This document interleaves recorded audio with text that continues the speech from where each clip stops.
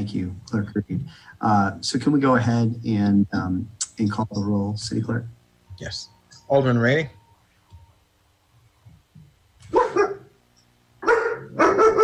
Alderman Rainey.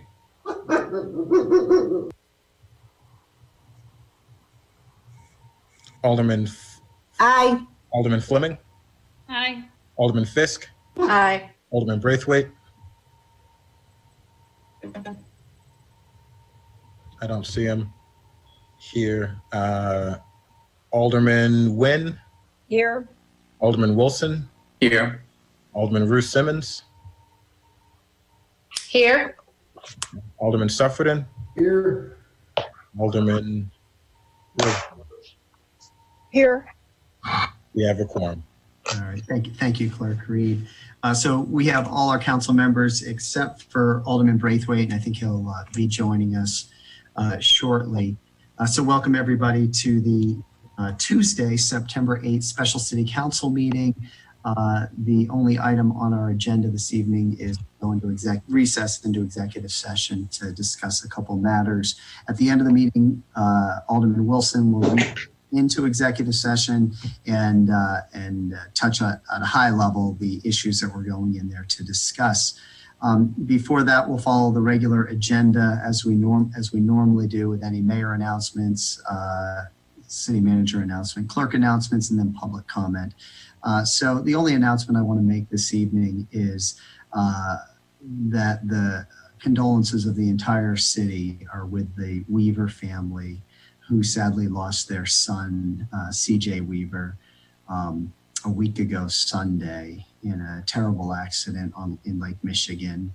Um, there was a, a really nice community vigil at Dodgen Church last week, attended by many and put on by uh, Second Baptist Church and, and Reverend Nabors and others.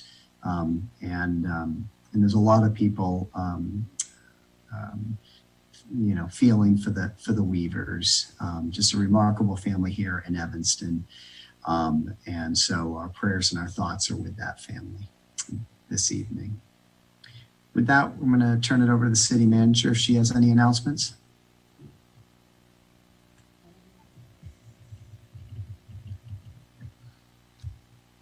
City Manager Storlie.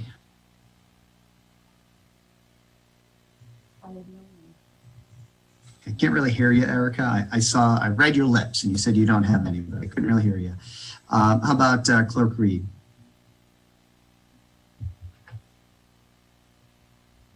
My apologies. Yes, I have uh, a few announcements. Uh, first, I want to go to uh, announcements from uh, residents. Um, just received one email or two emails, but one just a second ago. So let me uh, pull both of those up and then we can uh, get those onto the record. Uh, we have one from a um, a T Christian uh, Tiffany Christian, who lives in the fourth ward, uh, who is unable to attend city council uh, this evening, but wanted to provide public comment. Um, and uh, Ms. Christian would like to say, uh, would like for the city council to commit to diverting funds from the police into alternative institutions. Uh, we have, you know, quote, we have too many police officers and their labor can be best put elsewhere, caring for our communities, educating our children, managing our natural resources, taking care of our streets and ecosystems. None of these are accomplished through a large police budget slash force. It seems that we have been pretty clear with uh, with what we want, given the large demonstrations that have occurred in the aftermath of the of George Floyd's death. Our elected representatives, as our elected representatives, you have an obligation to heed our demands. So that was from uh, Tiffany Christian from the fourth ward, and then. Uh, I think this is Barbara Janes. Yes, it is Barbara Janes. Uh, this was sent a bit ago. And Miss Janes is uh, writing to the members of the City Council. Uh, I'm writing to urge you take public action to insist that Northwestern take action to monitor off-campus student behavior, especially during the time of COVID-19. Um, Northwestern said that students off campus should not have uh, parties of more than 10 people, and if they do, there will be consequences. That's all well and good, but if the university is not present to observe these parties, they will go on and there will be no consequences. This poses a major risk to us living near off-campus student, uh, near off-campus student housing. Student parties seem to be a major source of COVID outbreaks on college campuses. NU um, does not have a well-designed testing protocol in place requiring off-campus students to be tested regularly and uh, facilities to quarantine those students uh, testing who have tested positive. uh, the full comment uh, will be uh, sent to uh, the council. Um, then uh, next, I have uh, just a few announcements from the clerk's office. As we know, um, the November elections are underway, as well as our elections for the November. Uh, our our November elections are underway, as well as our municipal elections. Uh, we're going to start with a bit of information about the November 3rd elections. Uh, so we all know that election day is November 3rd, and you will vote at your local polling place. Um, and that we hopefully know early voting will start October 19th through November 2nd. Uh, here in Evanston, you can early vote at the Lorraine H. Morton Civic Center, uh, 2100 Ridge, in room G300. Um, and a list of the uh, operating hours is available on our website under the election information page. Um, most weekdays uh, or, or weekdays, the center is open until 7 p.m. Um, and on weekends until 5 p.m. Uh, we're also encouraging uh, folks to do a mixture of, of early voting if you are healthy enough and you- are in a lower risk category. Uh, we certainly do not want to overwhelm the uh, postal service, although uh, there's a great indication that um, here locally we're, we're we're fine with our postmaster. Um, so, but if you do want to request a mail-in ballot, uh, you can do so by uh, visiting the county clerk's website, or you can give the clerk's office a ring and we can help you locate that form. Um, it's also available on our webpage. Uh, so we want to make sure that folks uh, get in their uh, mail-in ballot request. Um, the mail-in ballots are going to be uh, some commonly asked questions are, you know, um, you know, when am I going to receive my mail-in ballot? Uh, what we've gotten from the county clerk's office is that uh, they're going to be mailing out the uh, vote by mail ballots on a rolling basis. Um, I think they have already begun sending those out. Um, and folks, uh, you know, if you haven't received it and it's late October, reach out to the Evanston clerk's office or the county clerk's office, and we can help you figure out what's going on. You'll also be able to uh, cast a provisional ballot during early voting or on election day if for some reason you have an issue with your mail-in ballot. Uh, and so the same thing goes if you receive a mail-in ballot and you choose that you want to vote in person, uh, you have the option of, you know, submitting that mail-in ballot uh, via a Dropbox uh, that will be outside of the Civic Center during early voting. Um, so you can drop it off in that Dropbox during early voting hours. Um, as well as, you know, you can walk into the early vote center and drop it off um, there. Um, and just, I want to remind voters that as long as you get your mail-in vote, your mail-in ballot uh, posted by election day here in Illinois, your ballot will be counted. You know, we want to recommend that folks, you know, get it off a couple of days before the deadline, which is election day. But you know, if you do get it in on election day, your vote will be counted here in Illinois. Um, so that's uh, our, those are our updates for the uh, November elections.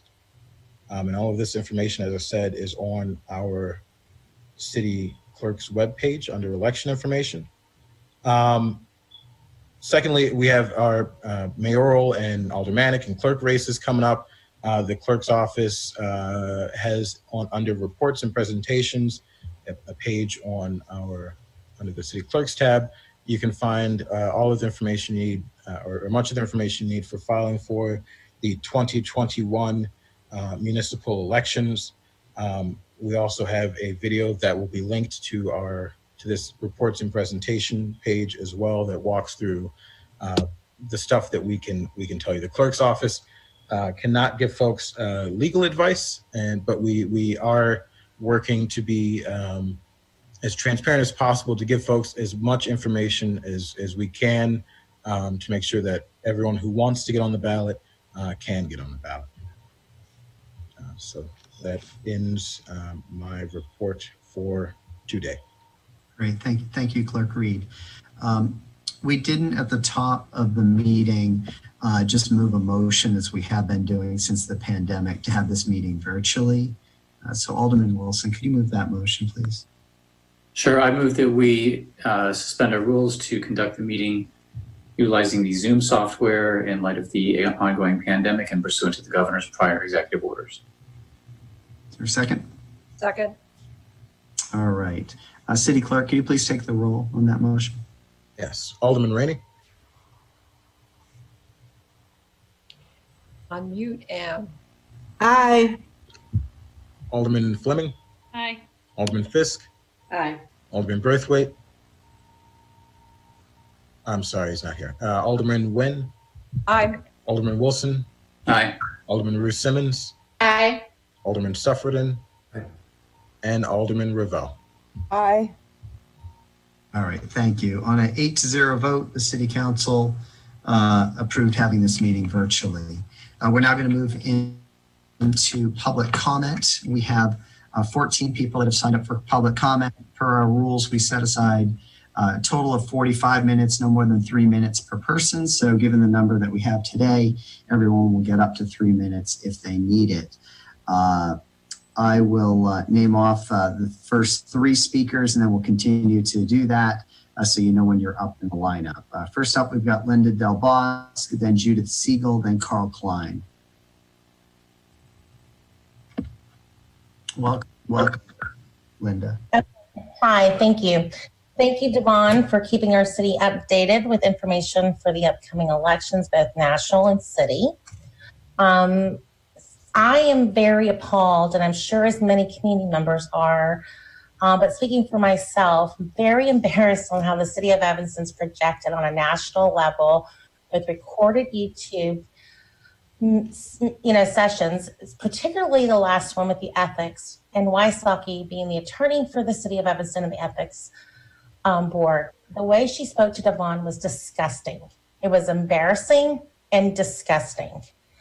I am not sure if you actually if you vet these attorneys or not. But I'm hoping that my money and our community members' money do not go back into having her represent the ethics board again.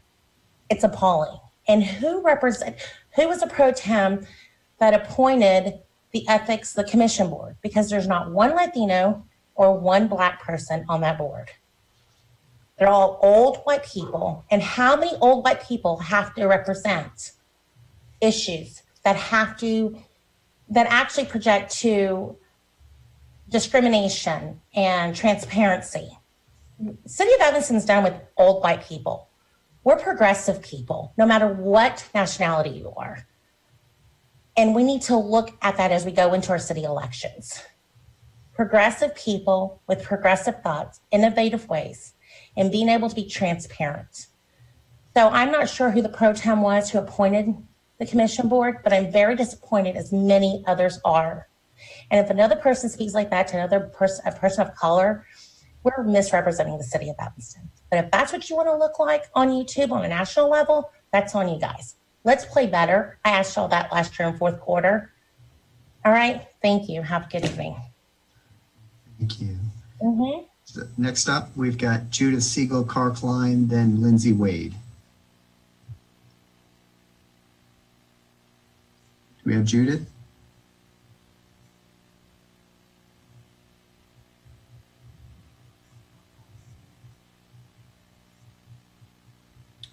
All right, we're going to come back to Judith um, Siegel. We'll come back to her at the end since she doesn't seem to be on now. How about Carl Klein, Lindsay Wade, then Molly uh, Hartenstein? Welcome. Hello. Um, Thank you for amending the um, agenda for the meeting to comply with city code. As a city that often talks about transparency, it's great to offer the citizens of Evanston at least um, some idea of what will be discussed in executive session. So thank you for amending the agenda to state that tonight's executive session will talk about litigation and personnel matters. Um, just a reminder, as you, all are full, fully aware, no final actions can be taken during executive session. So um, uh, would hope to see that whatever is discussed in the executive session tonight um, is placed on an agenda for a future city council for final action. Um, secondly, um, the census is uh, reportedly going to be finishing up uh, enumeration in September 30th. Thank you, Robin Rue Simmons, for all of your efforts to try to get the fifth ward counted. Um, also, I've been noticing that downtown Evanston, which is mostly in the first ward, the census tract um, is down. Is that because Northwestern students um, are no longer living in the city, um, are not filling out their um, their census, um, stating that that's where they were living in April? Um, Judy Fiske, if you could please work with this uh, Northwestern University to determine if those really are Northwestern students not filling out the census, that would be great because you are the chair of the university committee. So um, thank you, and I, I really look forward to um, having everyone in Evanston counted because, as you know, we can get a lot of money from this federal government, and so we need to make sure that all Evanstonians are counted. So thank you, and have a nice evening. Indeed. Thank, thank you, Carl, and thank you for uh, being ambassador for the census, which is, as you mentioned, critically important. Uh, next up, we've got Lindsay Wade, then Molly Hartenstein, Stein, and then Mary Rosinski.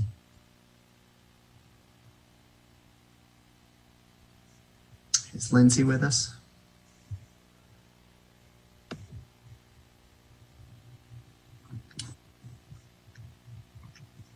All right, not hearing from Lindsay, we'll jump over to Molly.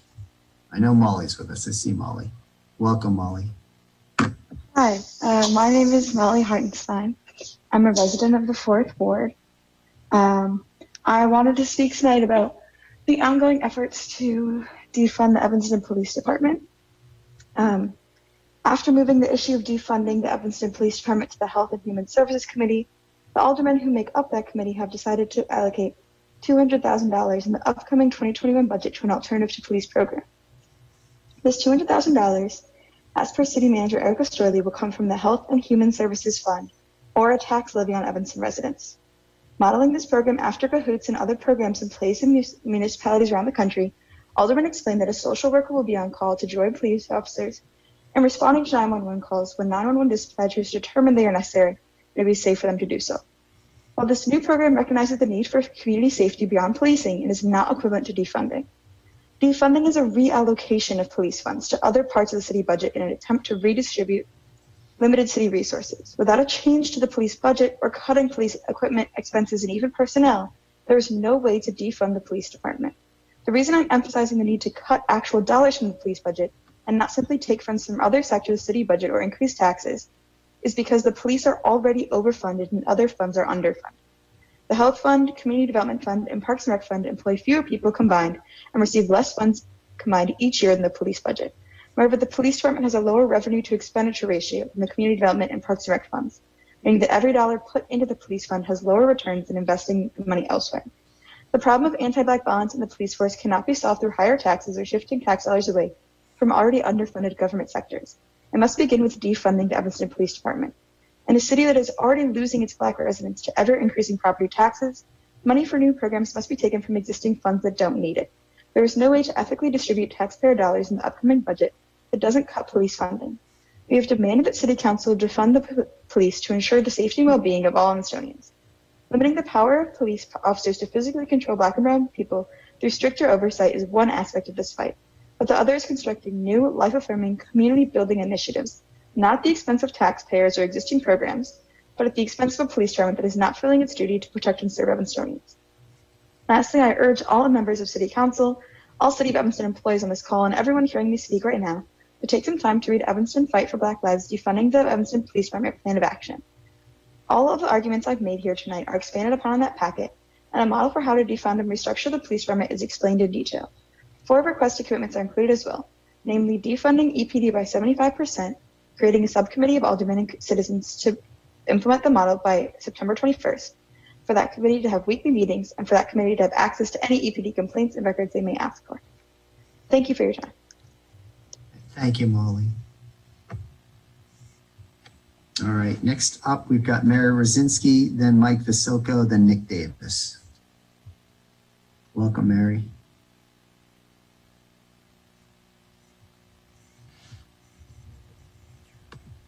Mary with us? All right, not hearing from Mary, we're going to move to Mike. So wel- welcome, Mike. Good evening. Um, So if if it, if it weren't for uh, hearing from Carl, I wouldn't have known that you updated the agenda for the executive session. I mean, I looked at the agenda tonight's meeting uh, on Friday and printed it out on Friday. And then I wrote a note asking what the agenda was for the executive session. I got no response. I mean, we shouldn't have to go back to the city website every day or twice a day to see if there's been any updates. Uh, no one responded to my email. I didn't know what the issues were. I really don't know what the issue is other than I hear now something about litigation. So it'd be nice if the mayor or somebody would explain in more detail what the um, agenda for that meeting is. Uh, also asked about the city manager's search and what the status of that is. Or is that part of the executive session? I also asked uh, when the citizens or if the citizens will see the full list of city manager candidates because we're entitled to see the full list and all of their credentials. I also asked on Friday, uh, when will all departments be put through the same ringer as uh, the police department when it comes to scrutinizing their budget? Uh, I just heard somebody say the police are overfunded. I, I, I don't know how any one citizen can make that kind of comment because how do we know that? Uh, I don't think that's the case. Uh, so I'd like to see when other departments are going to be scrutinized for their budgets. Uh, not talking about social programs because we know those only need to increase in budget, but uh, there are a lot of departments within the city that could easily be cut. Um, I also stated at the time, again and again and again, that the terms defunding uh, should be withdrawn from the conversation because it's really a budget issue, not a defunding issue, uh, which is a, um, I find to be a demoralizing uh, term that penalizes the police department for no cause. I've heard speakers from the Evanston for Black, Black Lives me- mention in their presentations that defunding is only the first step, abolishing is the ultimate goal. So I think there needs to be some real hard thought put into that. Lastly, if the proposed change to the emergency response system is being considered, and there was a placeholder suggested for next year's budget, uh, that really needs to be a referendum. This whole issue about changing how the police department operates, or if it does uh, change, and uh, the emergency response uh, program, everybody in Evanston needs to know about that, not just 30 or 40 uh, repeat speakers like me uh, making comments in that regard. And also, lastly, uh, I don't think Hitesh is on the phone or on the call, uh, but I've asked repeatedly why my FOIA request uh, to identify the total city debt as of August of this year has not been responded to. Um, should be simple. They sent me a December 2019 document, which is eight months out of due, uh, eight months old, and, and the document I already know. I'd like to see that FOIA responded to, or I have no alternative but to reply to the state. Thank you very much. Thank you, Mike. And Erika, if you can just look into that FOIA request. Um, and for anyone watching, again, the primary business tonight is going to be executive session, and recessing into it. And it's going to be on two matters, a, a litigate, litigation matter and personnel matters tonight. So that's the, uh, the topics for uh, executive session. We're going to move to our next speaker, uh, who's Nick Davis. And then after Nick, we're going to have Adam Marquette, and then Sean Peck Collier. So welcome, Nick. Everybody can hear me good? We can. Yep. All right. so, what many community organizers, academics, and other proponents of defunding have predicted is unfolding before our eyes in Evanston. Po- uh, politicians, police, and lawyers, among other city employees, have learned the lingo and appropriated terms born out of decades of studying and struggle. Words like reimagine and defund and weaponize them to fit their own agendas or in an effort to compromise. Unfortunately, there's no compromising when it comes to fixing a system that is literally killing black and brown people of all genders, sexualities, and abilities, trapping us in a cycle of perpetual generational trauma at the hands of police, reinforced through contracts agreed upon by city officials that make it almost impossible to hold them accountable and out them from our communities when they break our trust and violate our rights. We're telling you what's wrong, we're telling you how we'd like to see it fixed, and it's being ignored. A lot of people on this call still talk about they're not really understanding how this would be possible and EFBL has put out a very thorough 27 page packet on how that happens.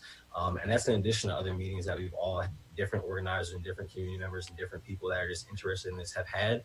And the reaction from a lot of people in the city, not necessarily everybody on this call, but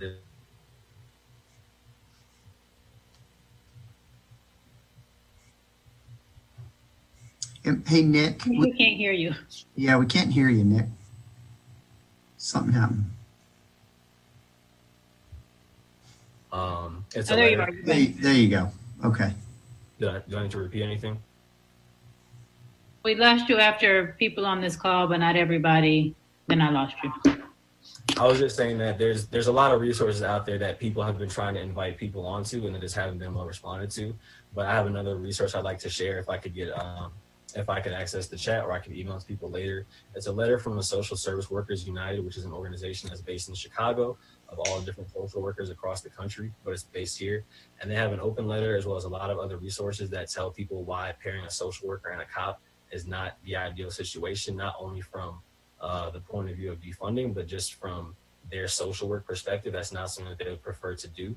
Um, so I would encourage everybody to take a look at that when they can.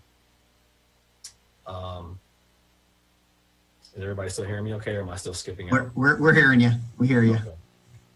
Um, but yeah, so in addition to that, our own victim services employees have told city officials on record that with more resources the department, which has been cut significantly for the last several years, but that if it had more resources, they'd be able to fulfill a lot of community needs without supplementing EPD's budget and without the oversight of police officers on a large number of calls. That type of thing is also addressed in this letter that I'll email to people. Um, and last, I just want to say there's not lastly, second last, there's room for everyone in Evanston to do better for our city, myself included.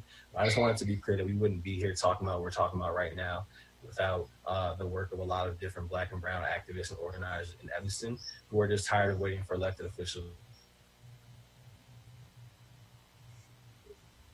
You broke it. I lost you again. I lost you again there, Nick.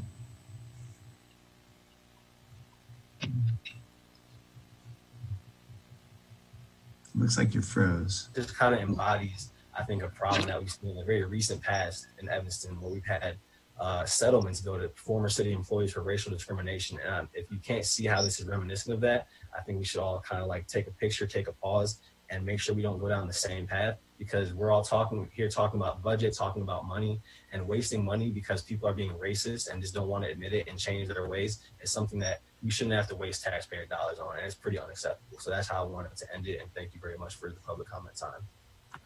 Thank, you, Nick. And Nick, if you want to send that document that you have that you want to share to the city clerk, he can put it into the into the record and share it with the council.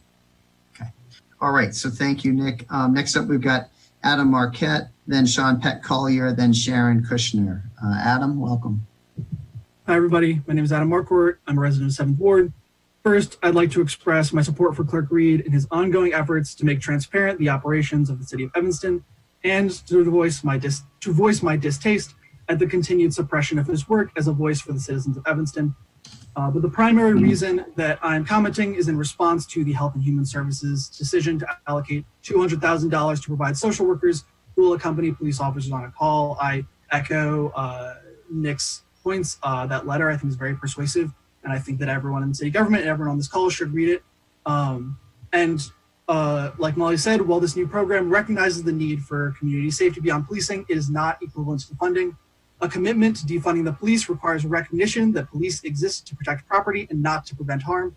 Manifold studies have confirmed that there's no correlation between crime rates and the number of police officers. You can look at Oxford scholar David Bayley's book, Police for the Future, which uh, you know enumerates all the evidence for that. The Evanston Police Department, like all police departments, is an institution that deepens racial hierarchies and endangers the lives of Evanstonians. Since 2016, nearly 80% of cases where an officer uses force, it is the officer that initiated the force, and in 60% of those cases, the victim is black.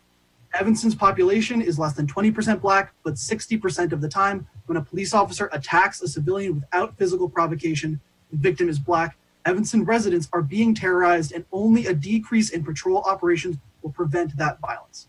We need, like Evanston Fight for Black Lives has demanded, a 75% net reduction in, in the Evanston Police Department's budget. Uh, excuse me. We need to put that money into, into departments that yield a higher revenue yield, like community development and parks and recreation. That in turn generates more money, which can be used to pay off our deficit, expand reparations, and even pay for programs that address the root cause of the situations that our officers are called to deal with and that they so often mishandle.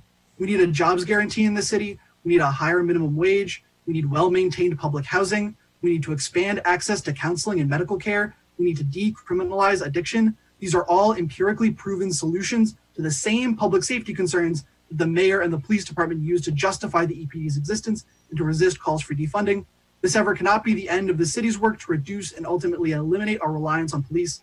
Amending police procedure is also not the solution. The Kenosha Police Department, where Jacob Blake, a member of, of our community, was shot, boasts very similar practices, very similar quote unquote progressive policing uh, efforts that Evanston likes to brag about yet uh, they are woefully inequipped to prevent or even address this anti-black violence and are in fact a major perpetrator of it uh, and also quickly just to respond to mike's comment he asked how do we know the police are overfunded? How can any one of us know that? Yet he says that he doesn't think that's the solution. Uh, i can provide several several definitions of the word overfunded that would indicate that our police department is such. You can look at comparisons to illinois cities with similar populations and see that Evanston stands atop those cities with a much higher police budget without much better results. You could also understand overfunded as a discrepancy between how much money we put into the into the department and a lack of positive results that we're seeing. Any department with such a prolific record of violence against its residents should be limited in its operations while we develop alternative solutions. And again, I urge everyone here to read Evanston Fight for Black Lives Plan for defunding. Uh, the link is tinyurl.com slash defunding POA.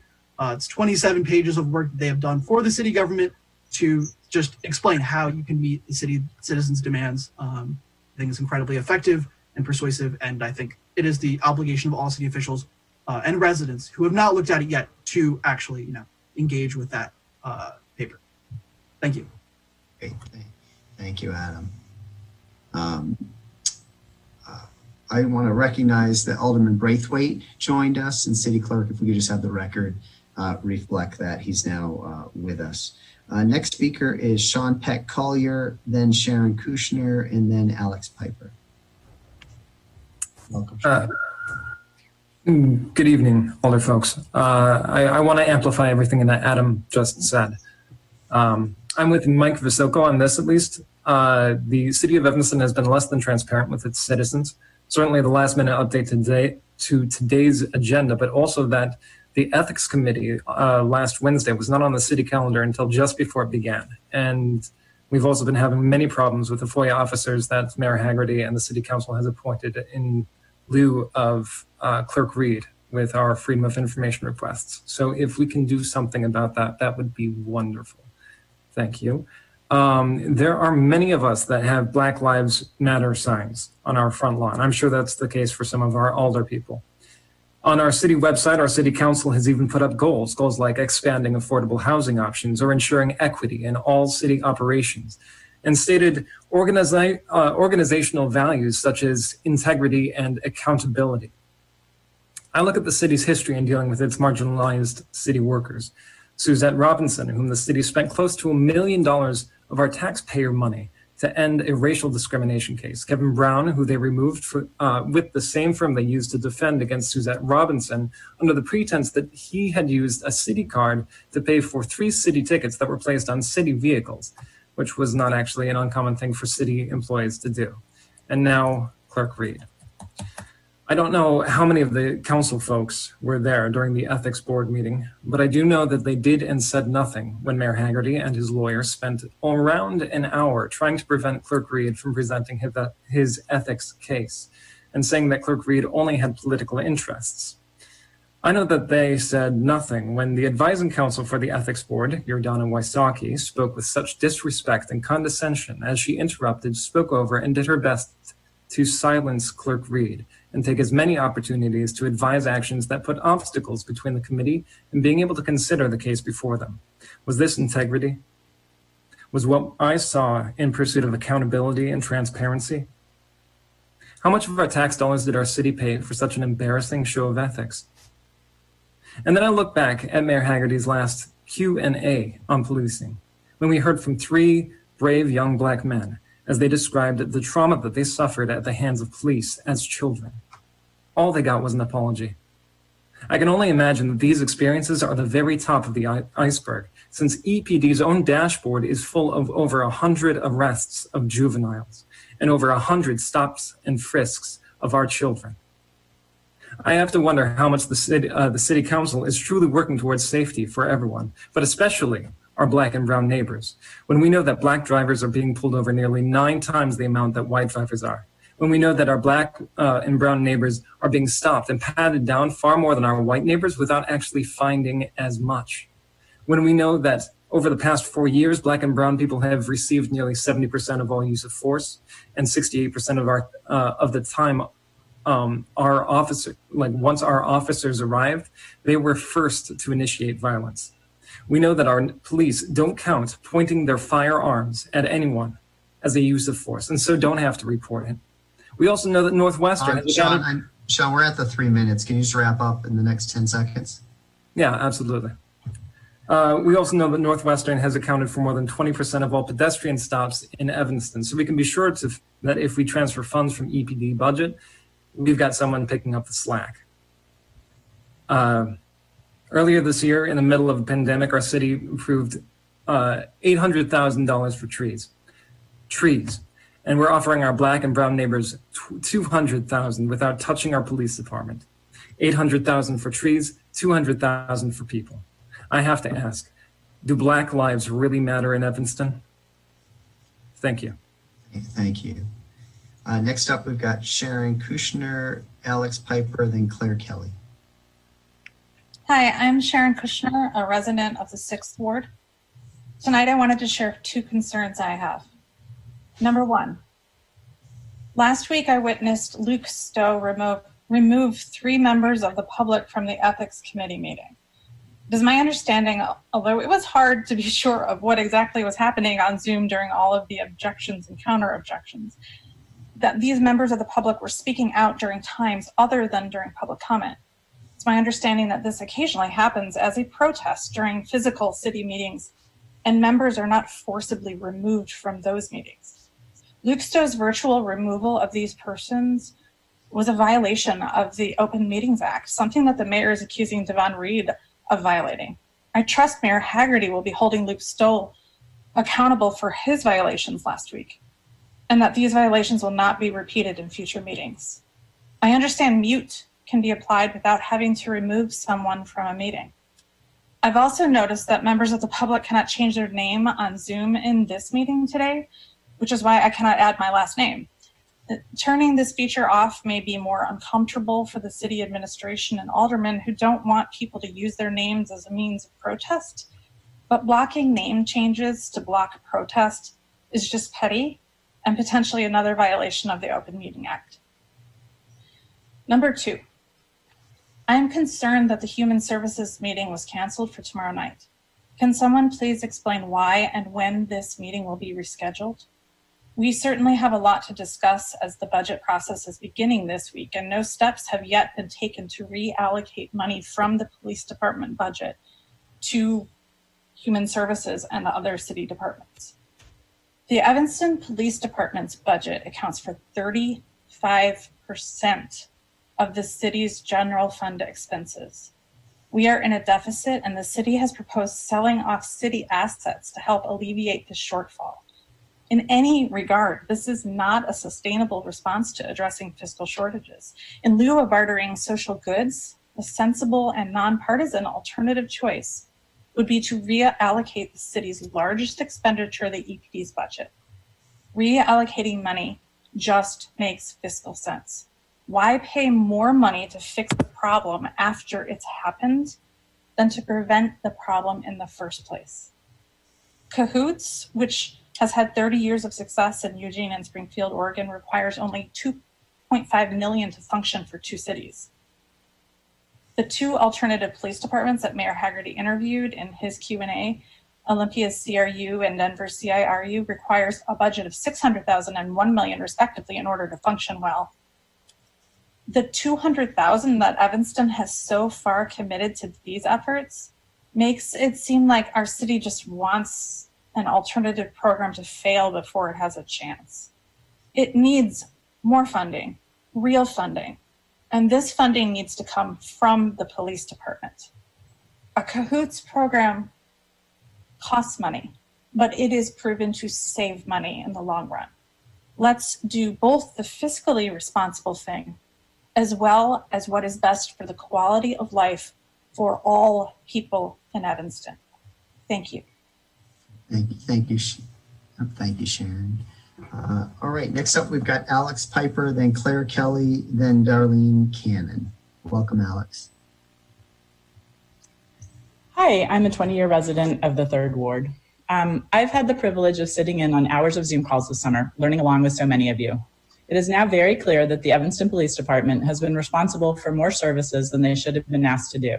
It is also clear from the data on 911 calls that an armed uniformed police person is not the best person to handle many of the calls they respond to. It is equally clear that the historical inequality of police engagement across race without sufficient oversight has left too many Black and Brown residents feeling unsafe. Over these weeks, we've been reintroduced to many of our very strong nonprofit agencies and have learned about the incredible work they're all doing. We've also been reintroduced to our youth and family services team and heard impassioned requests from them for more resources and more staff to expand the holistic work they are already doing with our youth. We now all know about successful alternatives to police response models in Eugene, Denver, and Olympia. To me, this path to broaden our awareness was leading to the direction of defunding the police. We were primed to reimagine and reallocate social service resources from the existing punitive police driven model to one centered on relationship building that is preventative and heals root issues. Yet, even with all this positive knowledge and energy, something keeps bumping up against this path forward fear. Specifically, the fear that decreasing our police department will result in a spike in violence and theft. This fear is currently by Trump, and as this intentional bellow- bellowing for law and order has been a politically successful strategy for decades to create othering and divide us further. Yet we know that increased police does not make us safer. We have seen how alternatives to police intervention can help create opportunities and resources that actually increase community safety. But we are Evanston. Although Evanston is not guiltless of perpetuating racial inequities and structural racism, we have a committed community who have often forged brave paths, hi- and I'd like to highlight a few examples. The June 2019 resolution that acknowledged Evanston's history of racially motivated policies and practices and committed to eradicating the effects of racist past practices the November 2019 creation of a reparations program, the first in the nation that secured funding from cannabis tax revenue. And certainly, not least of all, the dedication of Evanston youth this summer, tirelessly organizing and advocating in groups like Evanston Fights for Black Lives Matter and defunding, defunding EPD. While I am optimistic that we are starting a task force to envision this new pilot alternative responder program, it cannot stop there. As was cited by one of the city partners, Connections, the, the earmarked 200,000 represents a mere 0.02, I'm sorry, 0.0625% of the proposed 2021 budget. I understand the budget is especially tight now, but we need to continue to look for additional funding to be reallocated from the ETB, EPD for the program to succeed. In the June New York Times Magazine cover story titled What is Owed, the author Nicole Hannah Jones warns if we are truly at the precipice of a transformative moment, the most tragic of outcomes would be that the demand be too timid and the resolution too small. If we are indeed serious, serious about creating a more just society, we must go further than that. We must get to the root of it. I urge the mayor, the police department, and the city council to continue this the pace of this critical work. As a next step, I ask you to bring these discussions directly to our residents, centering them in Black and Brown communities that have been disproportionately affected by decades of disinvestment and structural racism. Excuse me. Thank, thank, thank you, Alex. I, just my last sentence. Only then can we heal, come together, and reimagine shared safety. Thank you all for your work and for your time. Thank, thank you, Alex. Uh, next up, we've got Claire Kelly, Darlene Cannon, and then Alec Avery is our last speaker tonight. Claire? Hi, Claire Kelly from the First Ward. And first, I'd like to echo some of the concerns of Barbara James.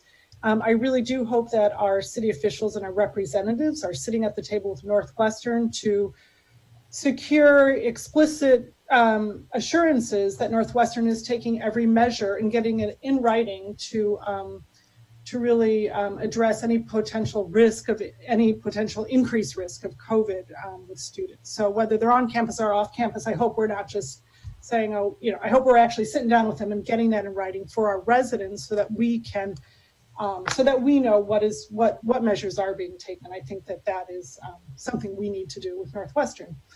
Um, I'm also concerned when I saw the agenda today, litigation really, I mean, I'm just hoping that our representatives up here are really scrutinizing every decision to go forward and spend yet more tax dollars on litigation. Um, this really concerns me. Um, and, you know, this Robbins Schwartz firm that we've hired now, it seems that they've been hired exclusively to investigate and challenge for only Black employees.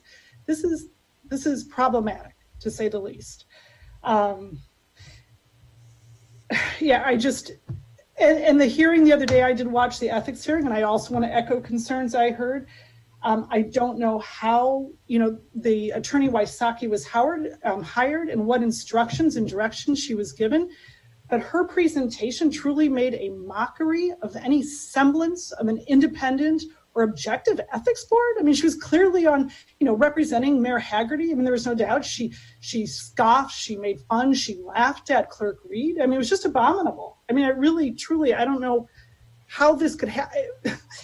anyway, that was horrendous, and I and I'd like to find like to know who instructed her and gave her that sort of direction to to carry on that way.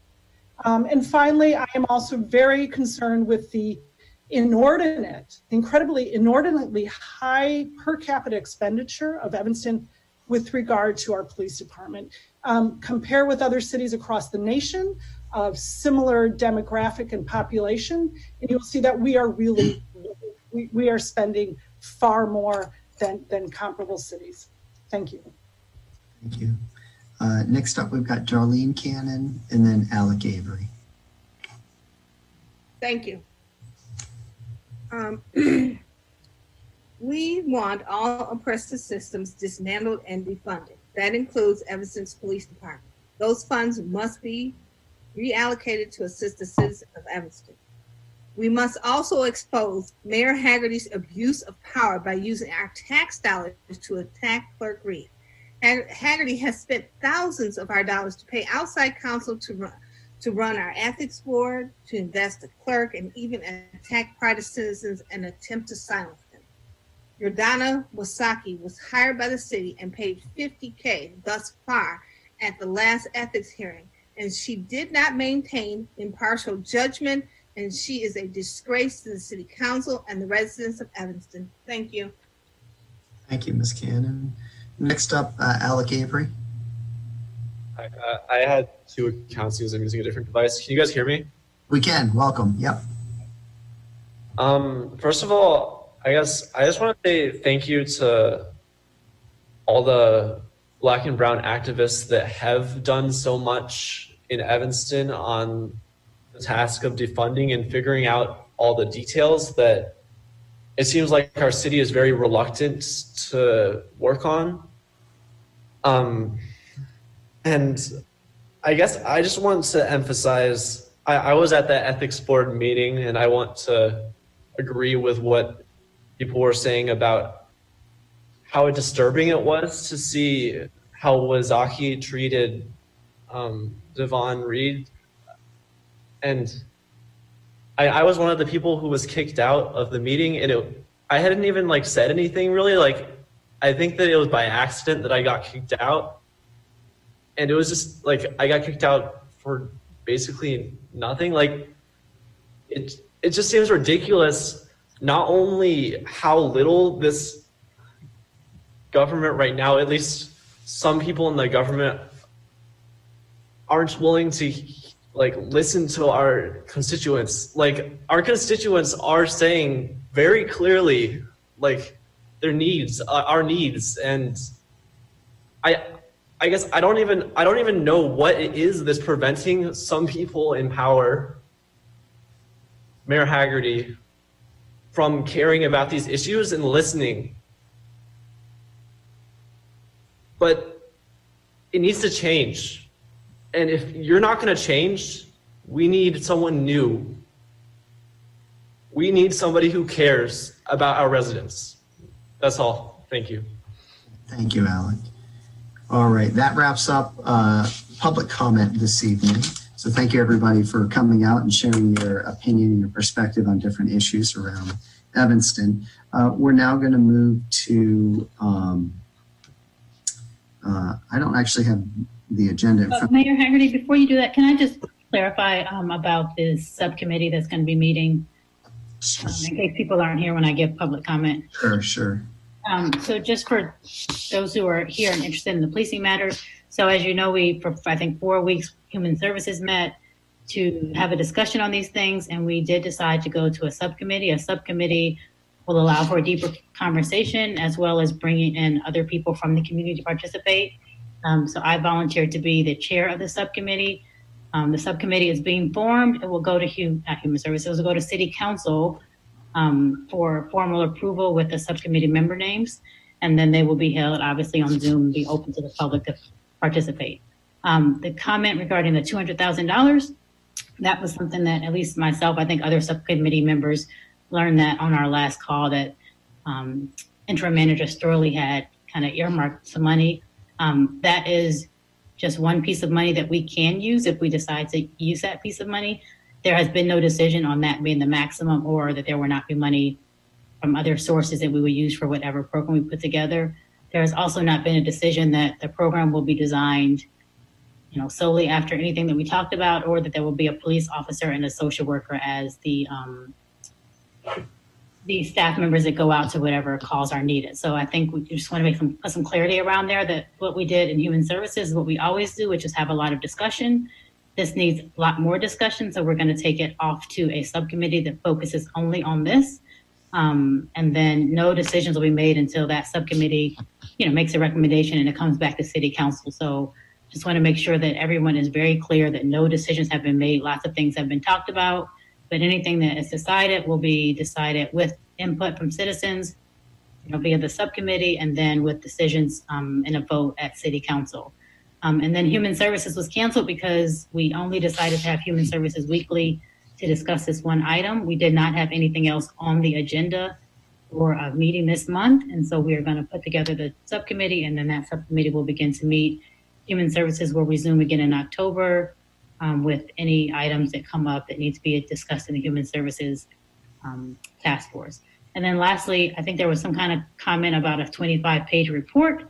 Um, my suggestion would be if anyone has something they want city council to see, you should email that to us. We don't, I'm not going to remember any email address you give me here or website. So um, if you all would like us to look at things, those things should be emailed to us so we can address them.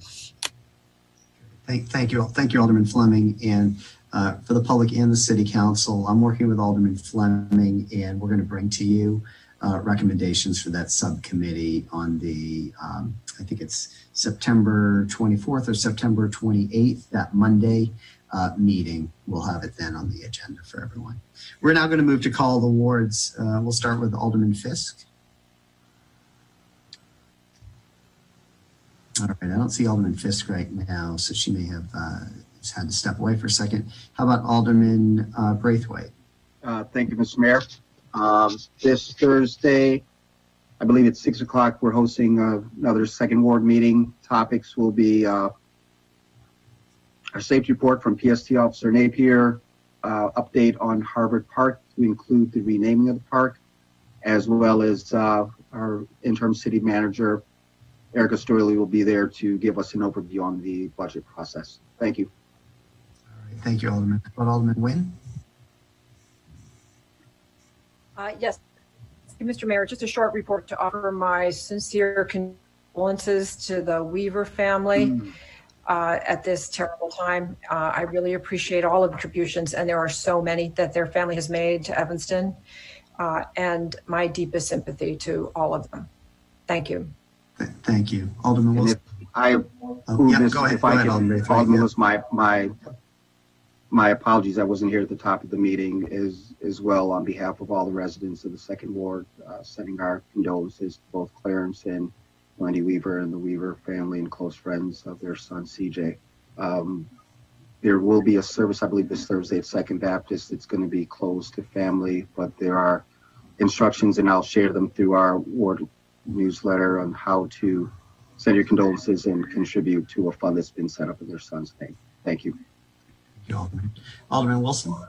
Um, I just want to join my colleagues uh, also in extending my condolences to the Weaver family. All right, thank you. Thank you. Alderman Rue Simmons? Thank you. Um, again, with my colleagues on City Council, condolences, prayers, strength, love to the entire Weaver family. Uh, we are here with you. Uh, we have our ward meeting tomorrow, 7 p.m. It is on Zoom. A newsletter should go out um, tomorrow morning with the details confirmed of uh, the agenda. And thank you to all of those that have um, followed the uh, reparation uh, process, our meetings, and taken the time to be educated. I want to um, state that there is a reparation website where you can go and get the facts and the details and actually add any um, suggestions or input. It is uh, cityofevanston.org backs, backslash uh, reparations. Thank you. Great, thank you, Alderman. Alderman Suffredin? Uh, condolences to the Weaver family and, and nothing else. Nothing? Okay. Um, Alderman Revelle? uh, joining my colleagues in sending my condolences as well to the Weaver family. And um, just a heads up about a seventh ward meeting on the calendar for the 22nd of September. Okay, thank you, Alderman. Alderman Rainey? All right, I don't see Alderman Rainey. Uh, Alderman Fleming? Oh, maybe Alderman Rainey's coming back. I stepped out of the room. Okay. Um, I had a call I had to make. Are we at call of the wards? Are we going We are- into we are- executive session? We are, we are at Call of the Wards right now, Ann. But not going into executive session? We're, we're about, to- we're about to. We're just wrapping it up. It's you and then. Okay, all right. Well, I too then, um, I was going to save my comments till call of the wards, but since this is call of the wards, um, I, I, I, was, uh, just heartbroken when I read about, um, the Weaver's son. And I too, I look forward to hearing, um, information about how we can support the family. Um, and, um, my condolences, um, to them. Um, and also, I, I would like to um, express my thanks to um, Representative Sh- uh, Congressman Schakowsky's office and Senator Durbin's office helping us with, and, and also Alderman Simmons, who's joined me, um, helping us uh, with the Evergreen Project on Howard Street. Um, we've been having some difficulty with uh, the the DC office of HUD, um, getting a piece of paper out of that office back to uh, the Housing Authority of Cook County, um, downtown Chicago. Um, it's it's been a really difficult difficult process, and hopefully this week we will see um, see the uh, the response. So anyway, just everybody's asking what's going on, what's going on, and we're waiting for a piece of paper. That's that's what we're doing. One piece of paper. So thank you. Thank you, all. Mayor Hagerty, I forgot a comment. Go Sorry ahead, go about ahead, go ahead. um, just census, and I, I know I always make census comments, but it's really important. I do want to give a little bit of encouragement. We actually um, have exceeded our reporting data from um, 2010, but that's not our standard, right? We're exceptional Evanston, and we want to keep going. Um, Census Tract 8092 still is maybe as, as much as 10 points behind the average of the city. And as we know, that is a census tract that has a tremendous need um, for federal dollars. So please um, do share with everyone that you know in Evanston uh, to complete their census. I will try to have a census event on um, Friday. More details will come regarding that. Great, thank, thank you for that PSA. Uh, and then we'll end as, uh, with Alderman Fleming tonight. Thank you. I didn't realize you were doing call to the words first. I could have saved my announcement.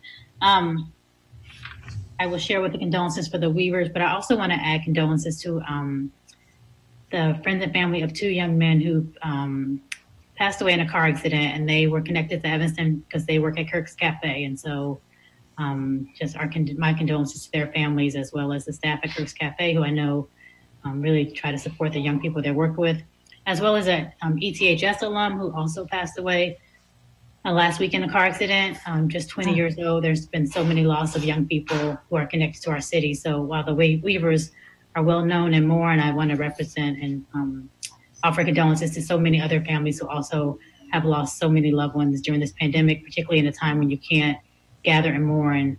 And I know that that's a, an, an additional hurt for people. Um, my other comment is that next Wednesday, and I guess we'll be announcing this as well, but there is a budget meeting at 6:30. So to all the residents of the Ninth Ward, I have moved our ward meeting till Thursday, the 17th. Um, and so making sure we can all get to the budget meeting on Wednesday, the 16th. And then as always, we will start to discuss the budget on the Thursday meeting, as well as just a couple of updates from around the community. So please make sure you tune in there. Um, and there'll be more information as well, just on my website. Great, thank, thank you, Alderman Fleming. All right, Alderman Wilson, can you please read us into executive session? Sure. Pursuant to five Illinois compiled statutes, ILCS 120 slash 2A, I move that the city council convene into executive session to discuss agenda items regarding personnel and litigation. The agenda items are printed as subjects to be considered in executive session and are enumerated exceptions under the Open Meetings Act. These exceptions are 5 ILCS 120/2A, C1, C11. Second. All right. Uh, City Clerk, can you please take the roll? Alderman Rainey, Aye. Alderman Fleming, Aye. Alderman Fiske,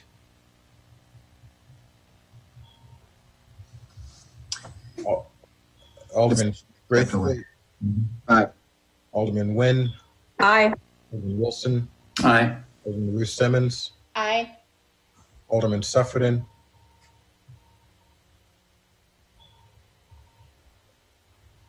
and Alderman Re- and Alderman Revelle. Aye. And uh, we didn't get Alderman Fiske. Yeah, and Alderman Suffredin was an aye. So uh, on an eight to zero vote, the Evanston City Council is going to recess into executive session.